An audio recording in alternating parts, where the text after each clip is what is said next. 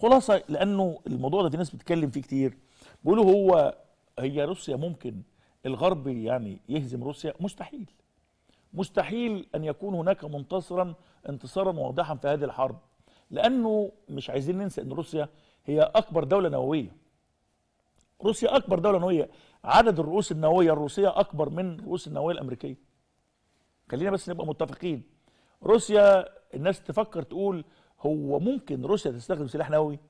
لو اضطرت ستفعل.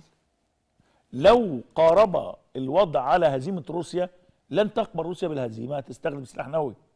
وبعدين حد يقول لي يعني الناس عندها عقل وعقلاء كثيرين اللي ده تبقى مدمرة. طب ما هي أمريكا استخدمت السلاح النووي هو في حد في العالم كله في دولة في العالم لم تستخدم أي دولة من الدول سواء مارقة ولا مش مارقة ولا كبيرة ولا صغيرة أي سلاح نووي الدولة الوحيدة في العالم اللي استخدمت سلاح نووي هي الولايات المتحدة الأمريكية آه، ضد اليابان. مش عايزين ننسى بس يعني مش عايزين ال الكلام عن حقوق الإنسان وعن منع انتشار الأسلحة النووية وعن التهدئة والسلام والسلم والأمن والكلام الحلو إنه ينسينا إنه المرة الوحيدة التي استخدمت فيها الأسلحة النووية هي قنبلة هيروشيما وناجازاكي ومين اللي ألقتها الولايات المتحدة الأمريكية على اليابان في الحرب العالمية الثانية؟ يعني الموضوع خلصان. فما حدش يقول إنه مستحيل تقوم حرب نووية. مين قال مستحيل؟ مفيش مستحيل. لكن كل رهانات العالم على إنه الحرب تنتهي بأقل خسائر.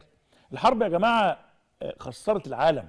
الحرب خسرت أوروبا وخلت تكلفة الحياة عالية في أوروبا والغاز والغذاء والسلاسل الإمداد وأمريكا نفسها اتاثرت الصين اتأثرت روسيا اتاثرت الدول النفطية ربما اللي بتنتج نفط وغاز هي اللي ما اتاثرتش بشكل كبير لأنها حققت جنت أرباح ومكاسب. لكن العالم كله تأذى من هذه الحرب.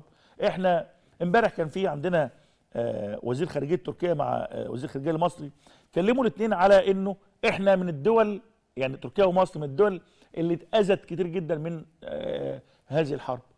لأنه إحنا دول لنا وضعنا الاقتصادي الخاص دول عندنا اعتماد على العالم الخارجي في الغذاء وفي بعض ح- فبالتالي أنت اتأذيت من آه، بقاء واستمرار هذه الحرب. نتمنى إنه الأمر يعني لا يطول ونتمنى أيضا إن إحنا نكون آه، آه، خلال هذه المرحلة عيننا مفتحه على المتغيرات لأن المتغيرات سريعة وعاجلة وبتغير شكل الخرائط الجغرافية والسياسية في المنطقة بشكل